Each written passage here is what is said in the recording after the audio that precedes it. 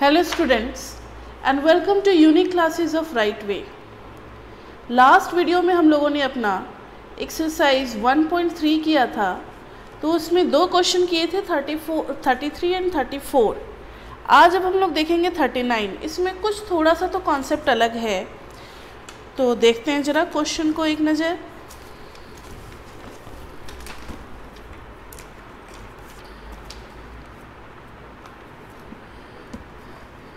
देखो जरा 39 में है। The minimum injection pressure P S I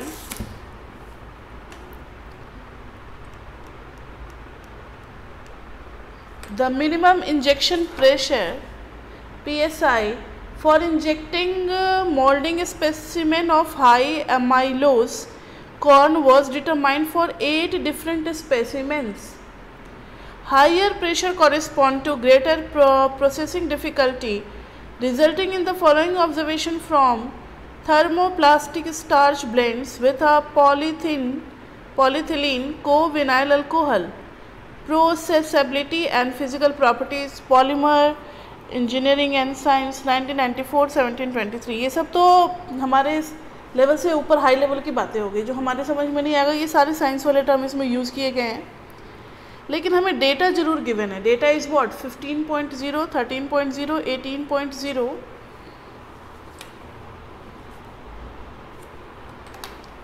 18.0 14.5, 12.0, 11.0, 8.9 and 8.0.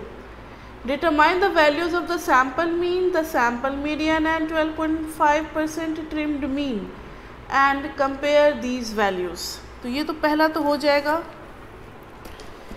तो फ़र्स्ट पार्ट में सबसे पहले हम लोग डेटा को अरेंज करेंगे असेंडिंग या डिसेंडिंग ऑर्डर में। अगर असेंडिंग में करते हैं तो सबसे पहले दिखेगा एट देन आ जाएगा eight point nine eleven point zero then is twelve point zero then is thirteen point zero five then is fourteen point five के बाद फिफ्टीन एंड देन एटीन ये इतने वैल्यूज़ हैं हमारे पास। ये इतनी सारी वैल्यूज़ हैं हमारे पास।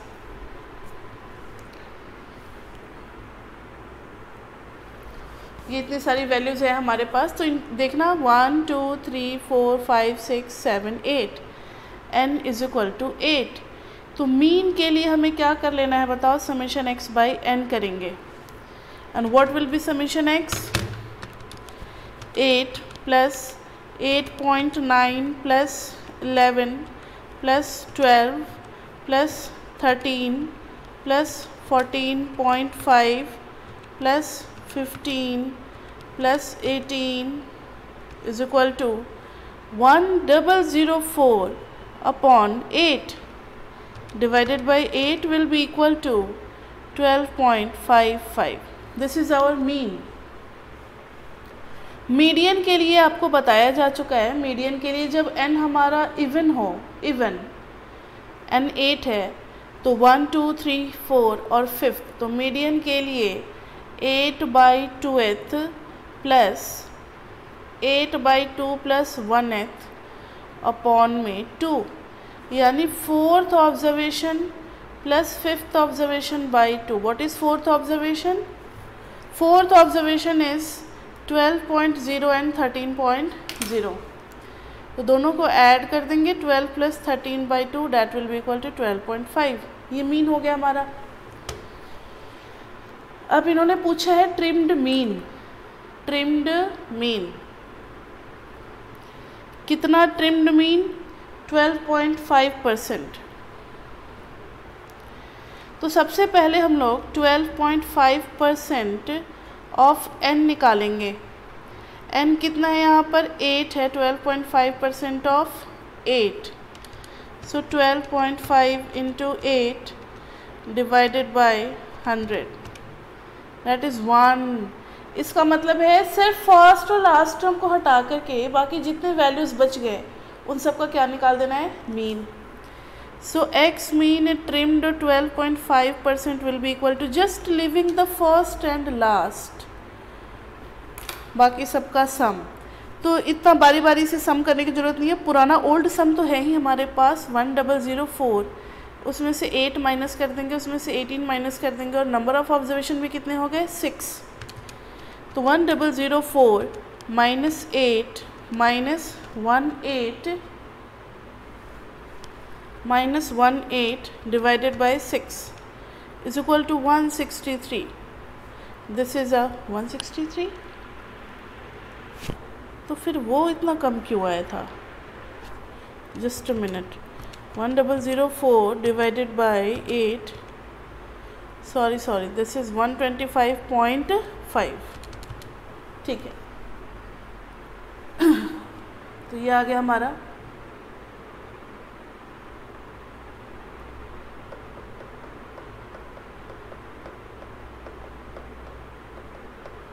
कुछ तो गड़बड़ हुआ है। ये इतना नहीं आएगा, वन थाउज़ेंड फोर नहीं आएगा। मेरे ख्याल से ये हंड्रेड पॉइंट फोर था। Yes. Hundred point four divided by eight is equal to yes yes yes it's hundred point four तो ये आ गया ट्वेल्व पॉइंट फाइव फाइव तो यहाँ भी हंड्रेड पॉइंट फोर में से ही माइनस करना पड़ेगा।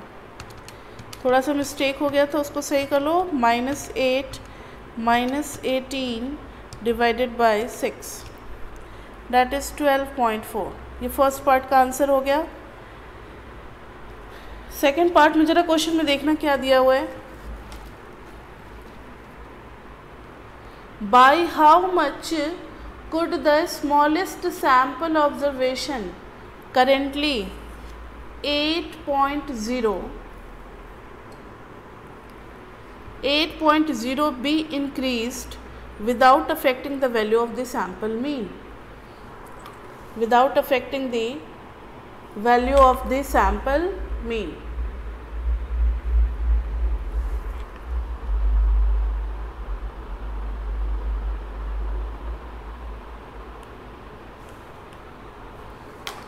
Without affecting the value of the sample mean तो सबसे छोटी वैल्यू जो है सैंपल की, वो सबसे छोटी वैल्यू कौन सी है?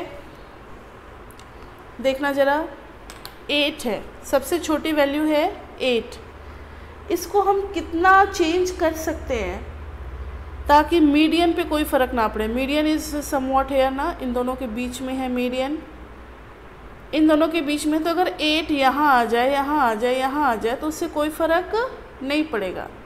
नहीं, यहाँ आने पे तो खैर फ़र्क पड़ेगा। एट जब तक ट्वेल्व पॉइंट ज़ीरो से छोटा है, तब तक तो कोई फ़र्क नहीं पड़ेगा। तुम क्या लिखेंगे सेकंड पार्ट का आंसर बताना? सेकंड पार्ट के आंसर में लिखेंगे eight must be less than twelve so that so that it will not affect fourth position so median will be same so 8 can not be greater than 12 12 से कम होगा तब तक चलेगा suppose we want the values of the sample mean and median where they ये देखो third part suppose we want the values of the sample mean and median when the observation are expressed in kilograms per square in this this this it is necessary to express each observation in K S I और can the values calculated in part A B use directly ध्यान दो। इन्होंने कहा है कि sample mean और median पे क्या फ़र्क पड़ेगा?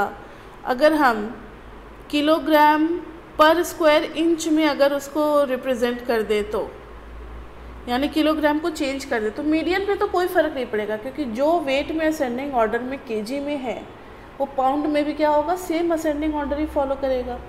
तो मीडियन पे तो कोई फ़र्क नहीं पड़ेगा, लेकिन मीन पे ज़रूर फ़र्क पड़ेगा। मीन पे ज़रूर फ़र्क पड़ेगा।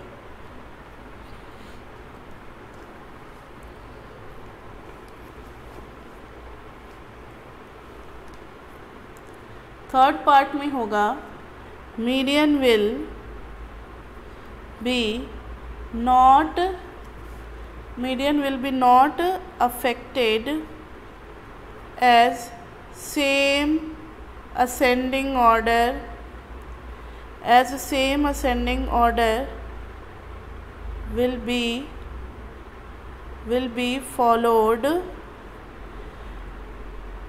if unit of measurement is changed. If unit of measurement is changed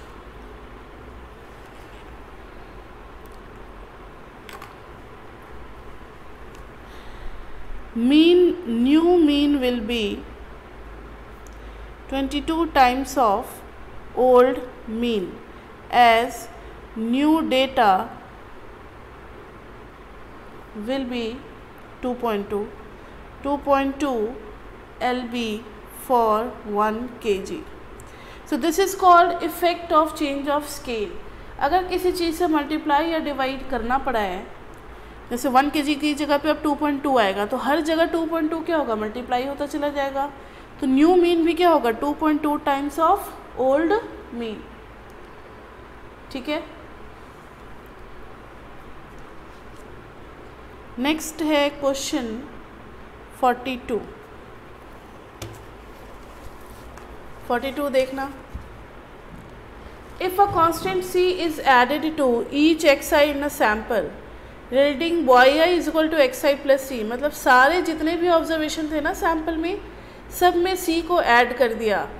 How do the sample mean and median of the Y's relate to the mean and median of X verify your conjunction तो यहाँ देखो change कर दिया। y is equal to क्या कर दिया बताओ? x plus C X I और वाई आई तो मीन पे क्या फ़र्क पड़ेगा?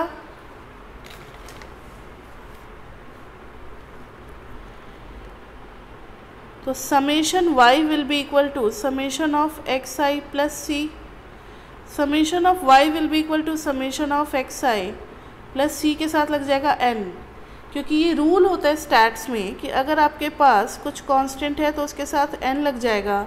अगर आपके पास सी इंटू एक्स है तो सी बाहर आ जाएगा और समीशन ऑफ़ एक्स ये दो रूल आपको याद रखने हैं। तो summation Y is to summation X I plus C N अब एन से डिवाइड कर दो सबको। तो इसका एन कैंसिल ये बन जाएगा Y mean is equal to X mean plus C यानी मीन पे भी असर पड़ेगा। तो हर वैल्यू में जो चीज़ ऐड की थी, अब मीन में भी ऐड कर दो तो that will be our new mean that will be our new mean median will not change median will not change as same chain of ascending series जब सब में एक ही चीज़ को ऐड किया गया है तो असेंडिंग सीरीज़ पे कोई फ़र्क नहीं पड़ेगा। यानी जो हमारी सब जो हमारी पहले सबसे छोटी वैल्यू थी, आज भी क्या होगी, वो सबसे छोटी वैल्यू ही होगी, और जो सबसे बड़ी वैल्यू थी, वो आज भी क्या होगी, सबसे बड़ी वैल्यू ही होगी। ठीक है? तो ये था 42 का ए पार्ट और अब हम लोग बढ़ेंगे अपने 42 के बी पार्ट पे।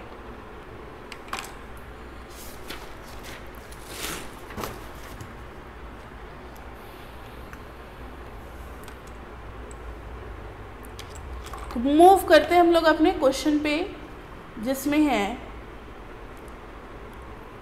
42 का बी पार्ट इसमें दिया हुआ है if each X I is multiplied by C यानी Y I is equal to C X I फिर से वही दोनों चीज़ों का आंसर देना है। तो देखना ज़रा Y I is equal to C X I में समेशन वाई आई करेंगे तो summation of C X I हो जाएगा। Summation of Y I will be equal to C into summation of X I फिर summation of Y I by N करेंगे तो C summation X I by N हो जाएगा।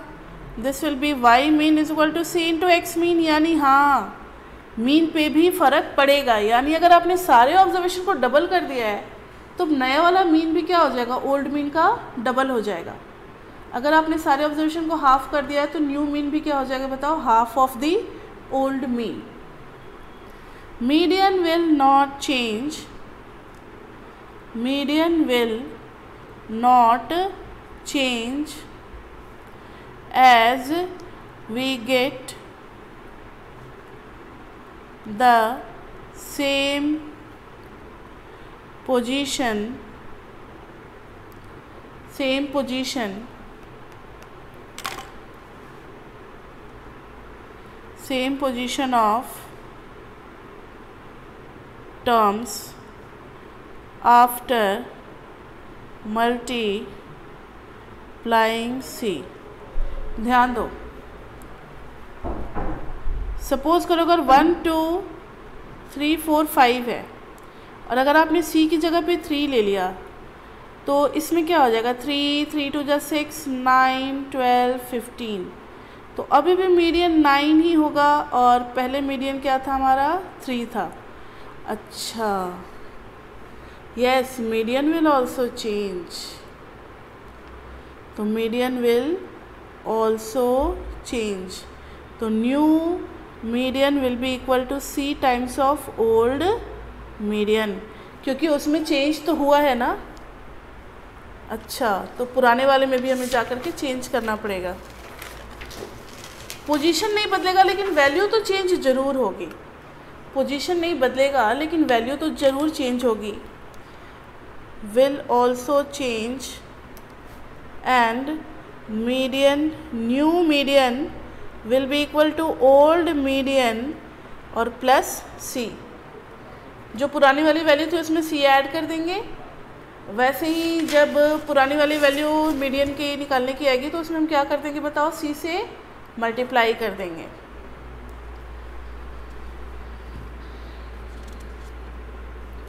और हमारा 1.3 में रहता है, कुछ टॉपिक्स रहते हैं, जैसे क्वार्टाइल डिसाइल्स एंड परसेंटाइल्स ये कुछ टॉपिक हैं जो कि हमें करने हैं। तो quartiles percentiles and deciles quartiles percentiles and deciles ये देखो। अगर किसी चीज़ को इक्वल दो पार्ट में डिवाइड करोगे तो जो यहाँ पोजीशन होगा, वो क्या कहलाएगा? मीडियन अगर किसी चीज़ को चार इक्वल पार्ट में डिवाइड कर दो तो this one is Q one and this one is Q three तो Q one and Q three will be quartiles इस पोजीशन पे जो भी वैल्यूज़ मिलेगी, उन्हें हम क्या कहेंगे बताओ? क्वार्टाइल्स डेसाइल्स का मतलब है टेन पार्ट्स में डिवाइड करना। तो D one D two like this way तो deciles it divides in into ten equal parts अब आप समझ गए होंगे परसेंटाइल्स का मतलब P one P two P three like this way P ninety nine तो ये क्या हो गया सभी? परसेंटाइल्स मतलब divides data into 100 equal parts. 100 equal parts. तो चलो अब फॉर्मूला को अप्लाई करते हैं हम लोग.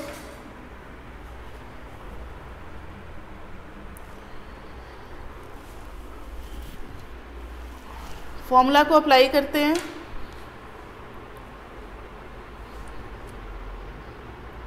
एक क्वेश्चन के ऊपर.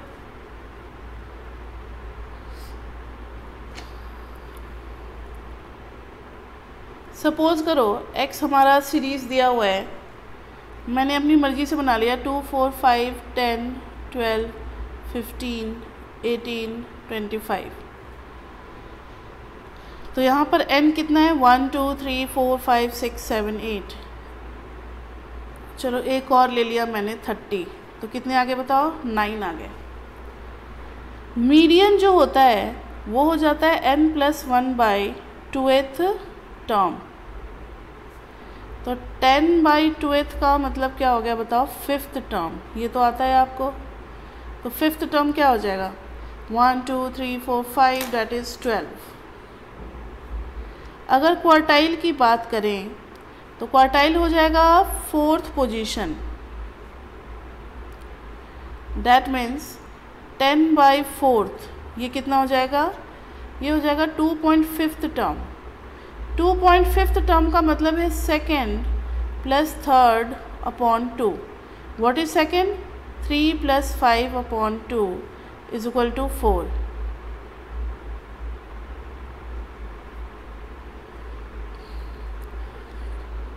ना see Q three Q three हो जाता है three into n plus one by fourth term this will be 3 by 4 into 10 term. That means 7.5th term. 7.5th term का मतलब क्या है बताओ? Seventh plus eighth by two so what is seventh term? 1 2 3 4 5 6 7 and 8 18 and 25 तो इधर कर देंगे हम लोग 18 plus twenty five upon two eighteen plus twenty five divided by two one point five Q three के बाद आ जाएगा डिसाइल अगर डी वन की बात करें तो n plus one by tenth term n plus one by tenth term यानी कि टेन बाई टेंथ टर्म यानी कि फ़र्स्ट टर्म वो हो गया टू अगर कोई डायरेक्टली डी सेवन निकालना चाहे तो सेवन इंटू एन प्लस अब फॉर्मूला पे भी ध्यान देते रहो कि कैसे फॉर्मूला बन रहा है।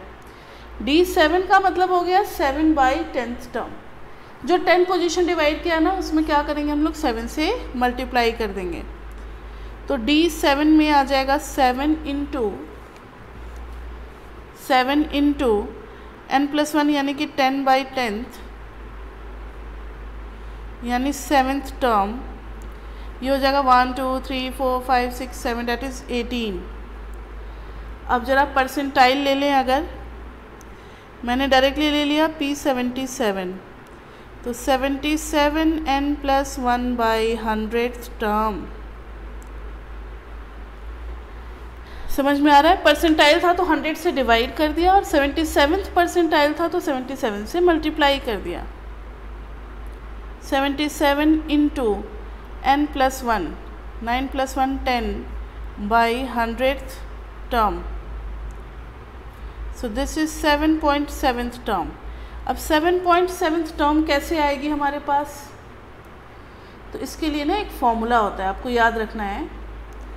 जैसे 7.7th टर्म अगर हमें ढूंढ के निकालना है तो हम कर देंगे seventh term plus point seven देखो जब पोजीशन की बात आती है तो इसके दो पार्ट होते हैं, एक इंटीग्रल और एक फ्रैक्शनल तो integral part plus fractional part into next term minus current term यानी जरा आप अपने क्वेश्चन में से देखो सेवेंथ और एट्थ टर्म कौन कौन से हैं?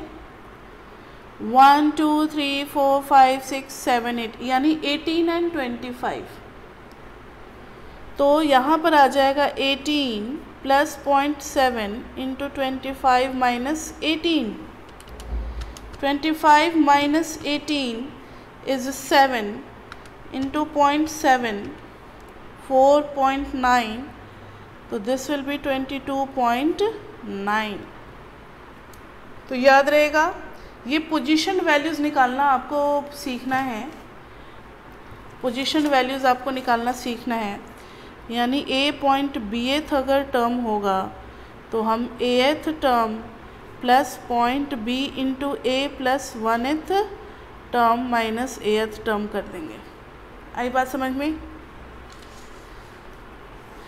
तो ये था quartile deciles and percentiles from one point four I think no one point three so we have done one point three 1.2 तो हमने पहले ही कर लिया था, हम लोगों ने 1.3 भी कर लिया। और अब शुरू करने जा रहे हैं हम लोग 1.4 मेजर्स ऑफ़ वेरिएबिलिटी 1.4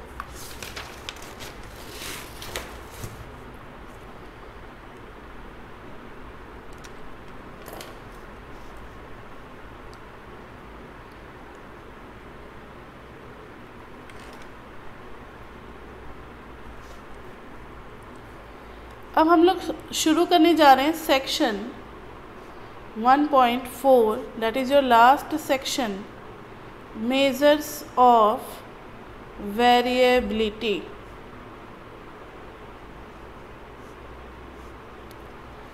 मैंने आपको सैंपल वेरिएंस के बारे में पहले ही बता दिया था, लेकिन इसमें हमें पढ़ना बेसिकली किन किन टॉपिक्स के बारे में है। तो पहला है रेंज और दूसरा है स्टैंडर्ड डेविएशन और वेरिएंस तो सबसे पहले देखते हैं range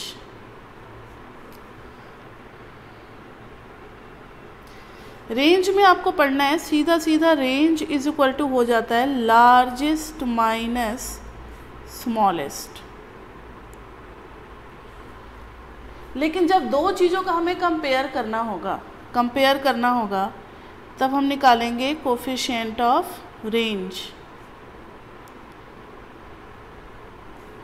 largest minus smallest upon largest plus smallest ये आपको नहीं समझ में आया होगा तो दो एग्ज़ाम्पल लेते हैं। जैसे एक्स ले लिया हमने रुपीज़ में ले लिया ten rupees twelve rupees fifteen rupees twenty rupees और वाई ले लिया ईयर्स में ten years fifteen years twenty years twenty five years अब जब आप दोनों का रेंज निकालोगे तो रेंज ऑफ़ एक्स जब निकालोगे तो twenty minus ten is equal to कितना लिखोगे? टेन रुपीज़ और जब आर ऑफ़ वाई निकालोगे तो ये निकलेगा twenty five minus ten is equal to fifteen years क्या हम रुपीज़ और ईयर्स को कंपेयर कर सकते हैं?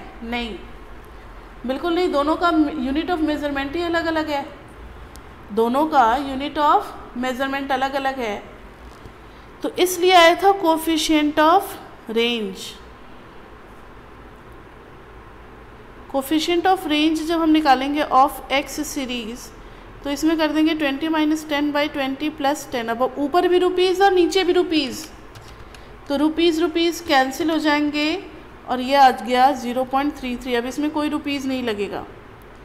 सेम है coefficient of range of y जब निकालेंगे तो 25 five minus ten by twenty five plus ten यह आ गया 15 divided by 35 zero point four two eight five ठीक है?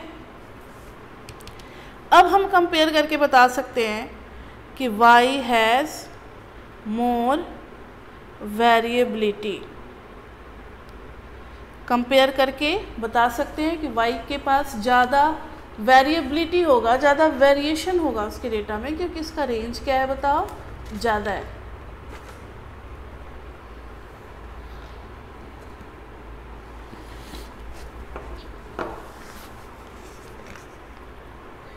रेंज है ज़्यादा, ठीक है।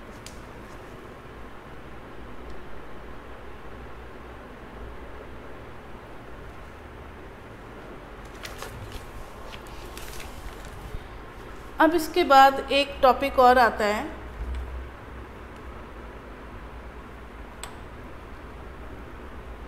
अब हम लोग बढ़ते हैं अपने स्टैंडर्ड डेविएशन की तरफ़। तो सैंपल का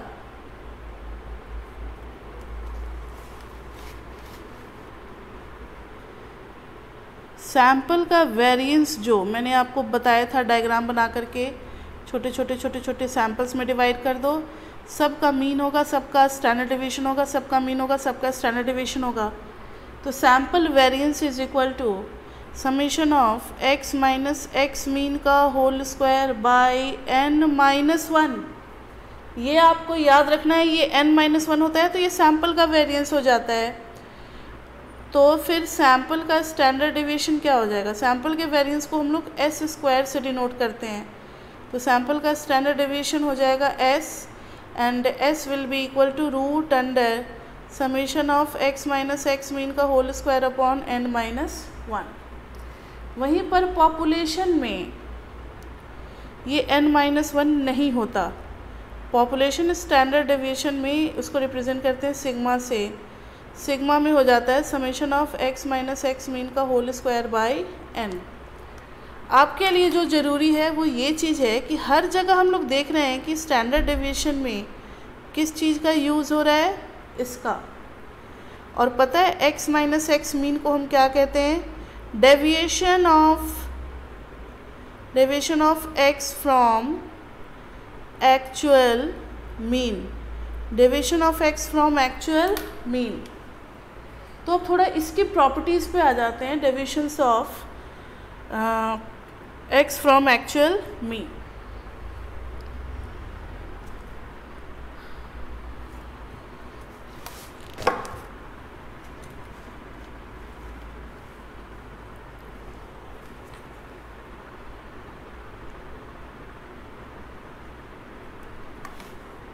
suppose करो एक एग्ज़ाम्पल करते हैं कि मैंने सैंपल में ले लिया x is equal to one two three four five इनका मीन निकालो, इनका स्टैंडर्ड डिविएशन निकालना है सैंपल वन है ये।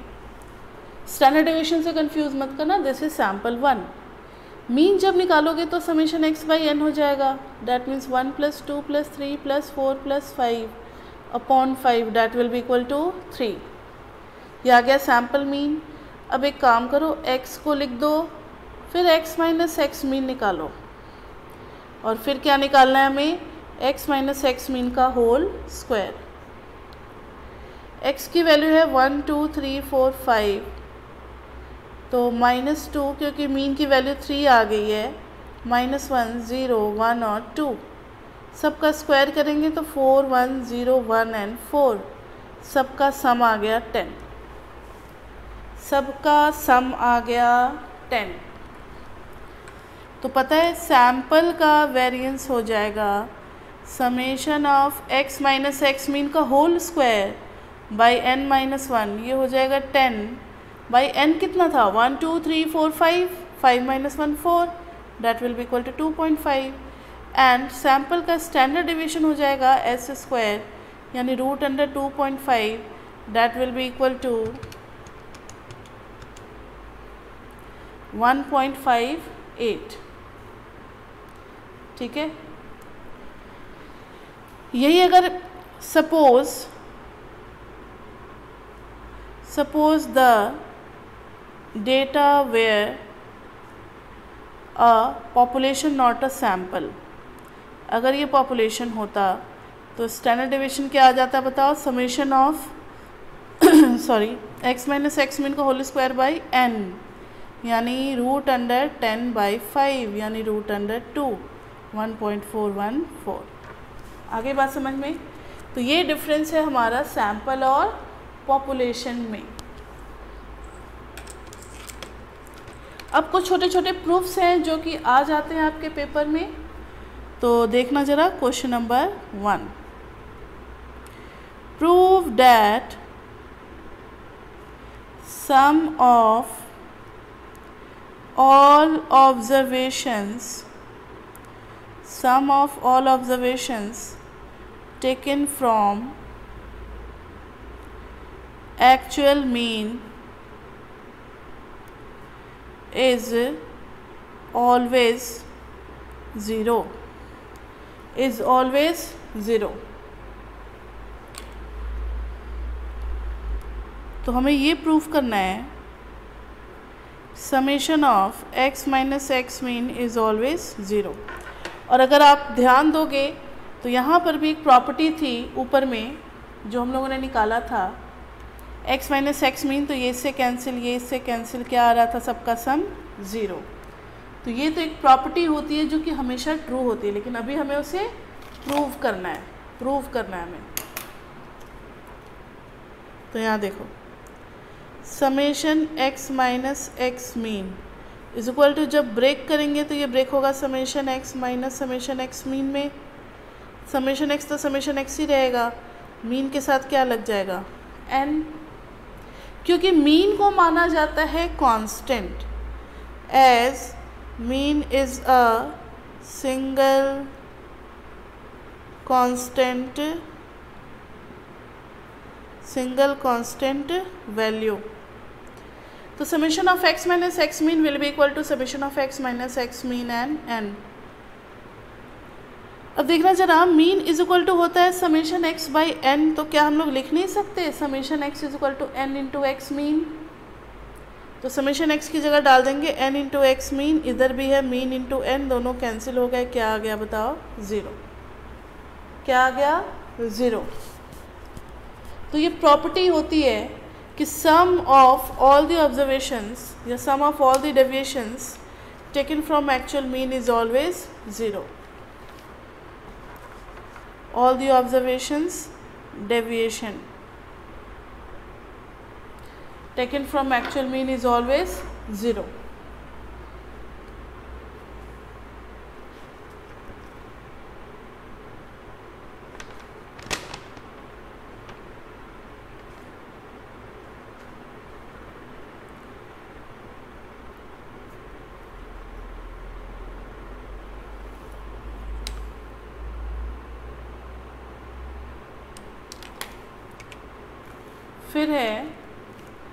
second question में है।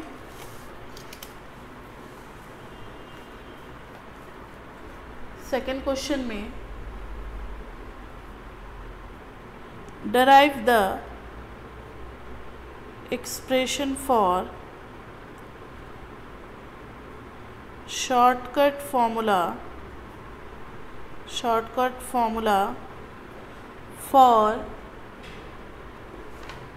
shortcut formula for standard uh, deviation.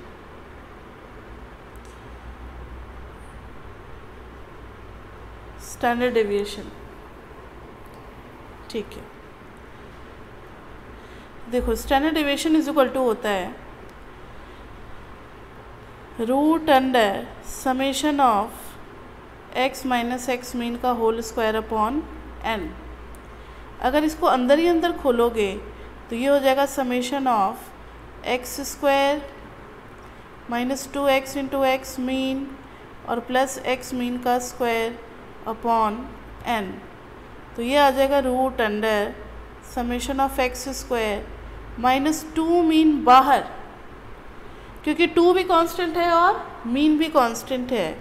बचेगा खाली समेशन एक्स प्लस मीन का स्क्वायर अपॉन एन तो ये हो जाएगा समेशन ऑफ़ एक्स स्क्वायर गौर से देखना समेशन एक्स की जगह हम लोग डालेंगे टू एक्स इंटू अच्छा ठीक है। समेशन एक्स की जगह हम लोग डाल देते हैं एन इंटू मीन क्योंकि यहाँ देखो ना समेशन एक्स की जगह क्या डाल सकते हैं? एन इंटू मीन नहीं डाल सकते। तो समीशन एक्स की जगह हम लोगों ने एन इंटू मीन डाल दिया। प्लस अच्छा इस पर भी तो समीशन आएगा। हाँ ठीक है समीशन तीनों पे लग गया है।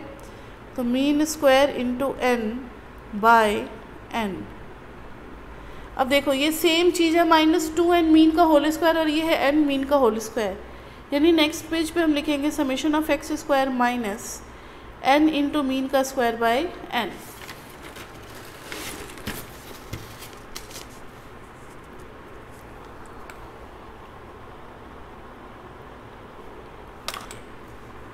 यानी ये हो जाएगा this is equal to root under summation of x square minus n into mean का होल स्क्वायर अपॉन एन तो ये हो जाएगा summation of x square by n minus mean का whole square this is also this shortcut यानी इसके question में आपको एक्स निकालना है एक्स स्क्वायर निकालना है समेशन एक्स चाहिए और समेशन एक्स स्क्वायर चाहिए और फिर इसमें पुट कर दो।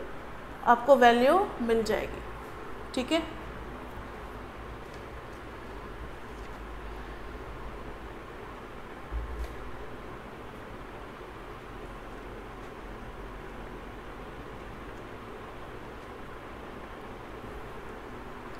अब कुछ नोट्स है जो कि आपको ध्यान देना है। If y one is equal to x one plus c मतलब सब में कुछ ना कुछ ऐड कर दिया गया है। Y two is equal to x two plus c सारे ऑब्जर्वेशन चेंज कर दिए गए हैं। Y n is equal to x n plus c then ये तो हम लोगों ने प्रूव किया है। आज के क्लास में ही एक क्वेश्चन में हम लोगों ने प्रूव किया हुआ है।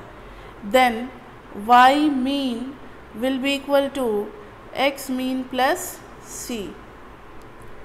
और नोट टू में है कि अगर हमने y is equal to x into c किया है तो y मीन भी क्या हो जाएगा? मीन इंटू सी यानी मीन में प्लस माइनस और मल्टीप्लिकेशन डिवीज़न से फ़र्क पड़ता है, लेकिन वेरिएंस में फ़र्क नहीं पड़ता। Variance of y is equal to variance of x ही रहेगा, क्योंकि कांस्टेंट का वेरिएंस ज़ीरो हो जाता है।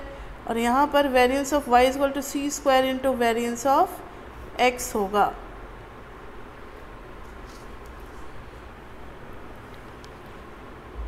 ये दोनों तो हम लोगों ने प्रूव किया हुआ है। वेरिएंस वाला भी हम लोग प्रोबेबिलिटी में प्रूव करेंगे। तो अभी प्रूव करने की ज़रूरत नहीं है और बॉक्स प्लॉट नहीं है हमारे कोर्स में। बॉक्स प्लॉट नहीं है। और फिर नेक्स्ट क्लास में हम लोग कुछ क्वेश्चंस करेंगे।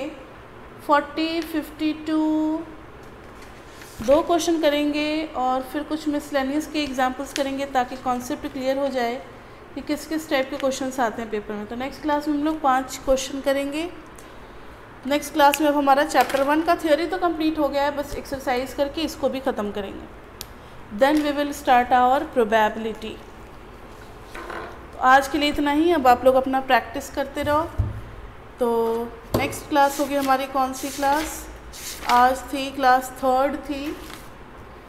तो नेक्स्ट क्लास होगी हमारी क्लास फोर्थ जिसमें हम लोग एक्सरसाइज 1.4 और मिसलेनियस एग्जाम्पल्स भी करेंगे। ठीक है?